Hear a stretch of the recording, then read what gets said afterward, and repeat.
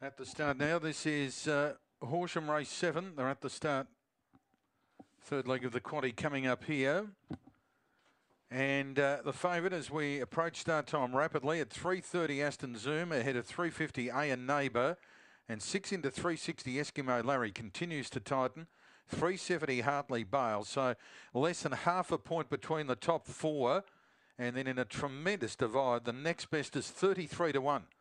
So there are four battling for favouritism, and the fifth favourite is given virtually no hope. So they're moving in. Top four in the market here dominate. Aston Zoom, the favourite, ahead of A and Neighbour, Hartley Bale, and Eskimo Larry. There's half a point between the top four, and 33 to 1 bar them. Set to go. Ready now. Racing. Good line out with nice one. Tom winning it wide out. Going a hard Eskimo Larry on the rail as Hartley Bale and they're followed by Aston Zoom going up quickly.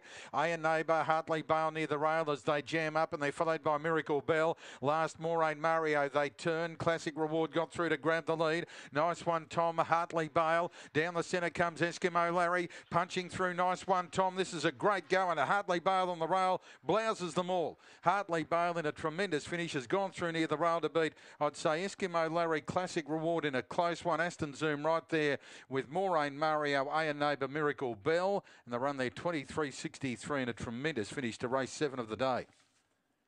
Hartley Bale will get it back near the inside rail. Didn't know, really know where to look.